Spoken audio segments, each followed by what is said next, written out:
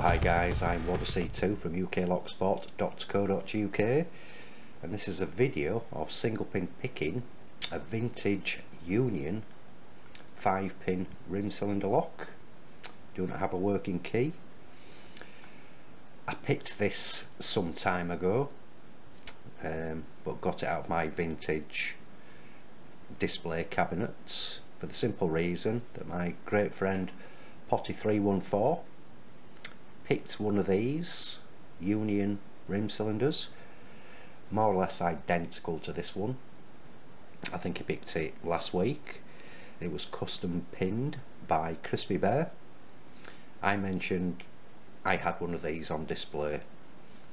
And his reply was what the driver pins look like.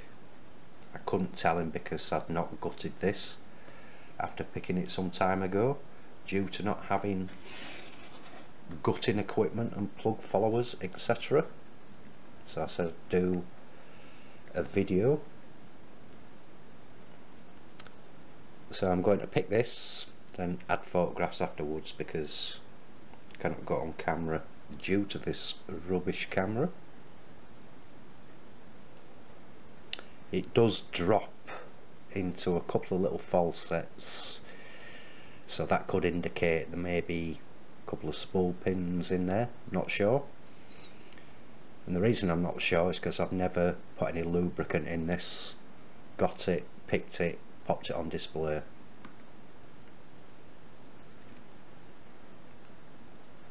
Make sure you can see what I'm doing. I've got the camera in a slightly different position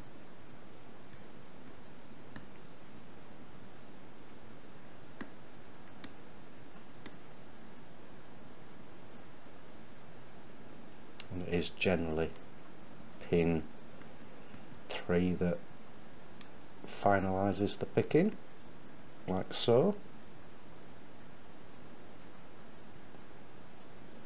So that's the Union 5 pin vintage lock single pin picks. So like I say I'll gut this in a moment or two.